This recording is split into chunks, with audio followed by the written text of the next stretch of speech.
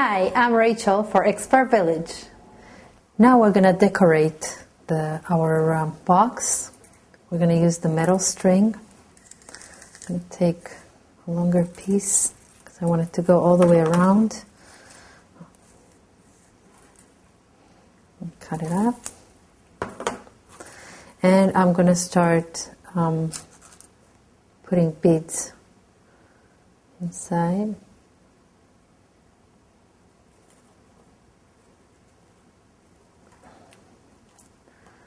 I'm gonna just make a knot so that they won't start running around.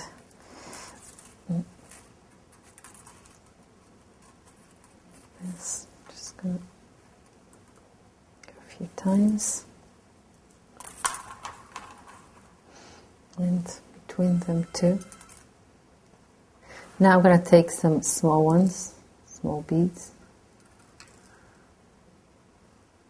Put them on the middle string. I don't want them to be too close.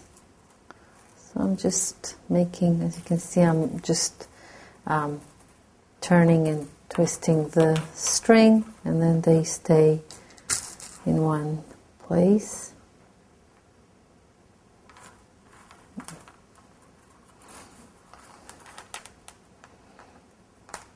It's a very nice um, thing. You can have your imagination in it. It's, um, pretty and it's nice to work with this metal string.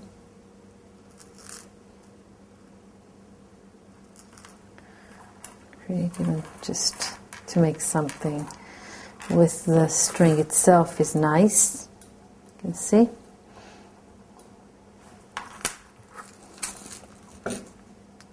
Now I'm going to take the glue gun and just glue it to the box.